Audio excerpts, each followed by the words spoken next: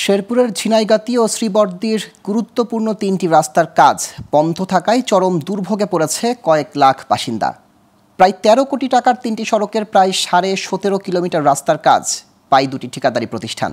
কিন্তু রাস্তার দুপাশে মাটি তুলে হঠাৎ কাজ বন্ধ করে দেয় তারা। এতে চরম দুর্ভোগে পড়েছে দুই উপজেলাবাসী। এদিকে জেলা প্রকৌশল অধিদপ্তর বলছে, এরই মধ্যে কাজ বাতিলের জন্য ঠিকাদারদের চূড়ান্ত চিঠি দেওয়া হয়েছে। সারা না পেলে কাজ বাতিল করে আবারও দরপত্র দেয়া হবে। শেরপুর থেকে মোহাম্মদ আবু হেলালের তথ্য ও চিত্র ডেস্ক রিপোর্ট।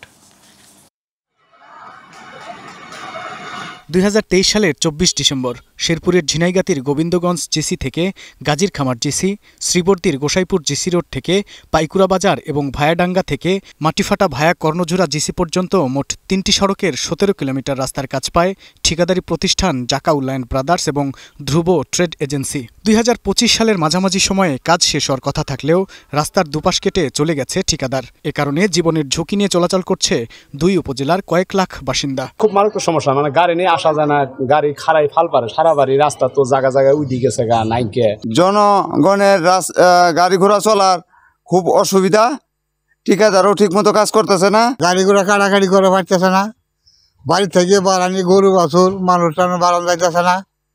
এই জন্য আমরা খুব অসুবিধার মধ্যে আছি। ঠিকাদারদের বারবার নোটিশ দিয়ে সাড়া না পেলে কাজ বাতিল করে অন্যকে দেয়া হবে বলে জানান এলজিইডির এই কর্মকর্তা। ঠিকাদার কিছু অংশ করে বিভিন্ন কারণে ফেলে রেখেছে।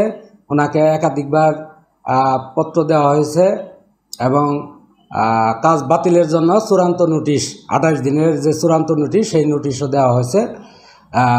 এর মধ্যে সাড়া না দেওয়া হলে আমরা কাজটি বাতিল করে দেব। জনগুরুত্বপূর্ণ এসব রাস্তার কাজ দ্রুত শেষ করবে সংশ্লিষ্ট কর্তৃপক্ষ।